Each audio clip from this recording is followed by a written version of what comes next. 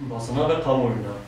8 Mayıs çarşamba günü sabahtan üniversite içinde takip edilip akşam sularında Dersim merkezde kendini polis olarak tanıtan 3 kişi tarafından zorla ara- araca alınan arkadaşımız Musa Elçi araca zorla bindirilmiş, araçla 2, 2 saate yakın şehir merkezinden uzak noktalara götürülmüş, özel sohbet adı altında ajanlık, işbirlikçilik tekliflerinde bulunulmuştur.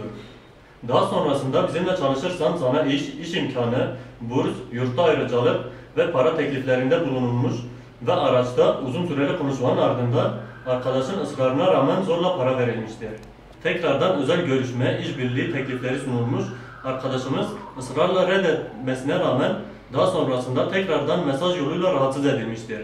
Ve ailesi aranıp özel hayatı, arkadaşları hakkında asılsız iftira ve yalan beyanlarda bulunulmuştur. Daha önceki süre- süreçlerde yaşanan bu tarz durumlardan dolayı yaptığımız basın açıklamasını yeniliyor, mücadelemizi tüm alanlarda sürdüre, sürdüreceğimizi ineliyoruz. Buradan tüm yetkili kurumlara sesleniyoruz.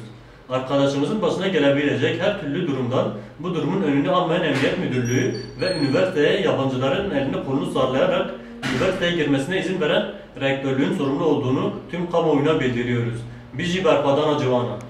Ee, şimdi iki özellikle iki gerekçe üzerinden bu ajanlık dayatması gerçekleştiriliyor. Bunlardan birisi e, bir takım sebepler doğrultusunda öğrencilerin ya da işte kişilerin emniyete çağrılması yoluyla bir diğeri ise tam da Musa'nın başına geldiği gibi araçla takip edip daha sonra zorla araca bindirme, tehdit ve şantajla araca bindirerek e, sohbet adı altında tırnak içinde söylüyorum 3-4 saat alıkoymak üzere gerçekleştiriyorlar bu dayatma yöntemini, ajanlık dayatmasını.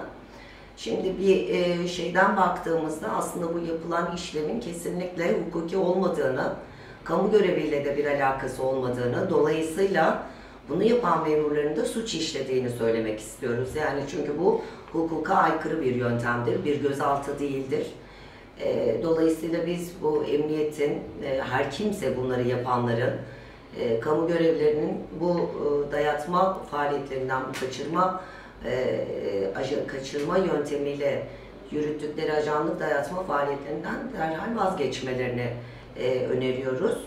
E, kendileri de bunun farkındadırlar ki gerçekten e, kişinin hak ve hürriyetlerinden yoksun bırakma, alıkoyma, kaçırma e, başlı başına zaten büyük bir suçtur. E, tekrar yineliyoruz. E, bu tür uygulamalara son verilmesini istiyoruz.